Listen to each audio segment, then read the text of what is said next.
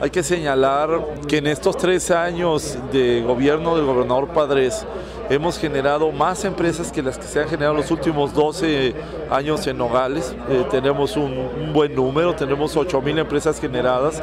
y, nunca son 8 mil empleos generados, perdón, y nunca son suficientes.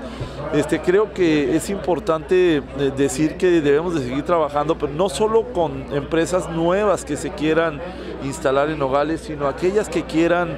eh, expandirse, que puedan eh, duplicar o triplicar sus líneas de producción, pero también trabajar con los micro pequeños negocios, ayudándoles con el financiamiento, con la capacitación, con la forma de vender sus, sus, productos. Y ese es un poco el objetivo de este, de este tipo de encuentros, el poder ayudarle a la gente a que si tiene algún tipo de actividad, ya sea en la producción de lácteos, de quesos, de panificables, de coyotas, de tortillas de harina, de, de especies o, o, de salsas, pues les podamos encontrar una, un canal de comercialización, un lugar donde vender sus productos y que puedan tener y mejorar su ingreso.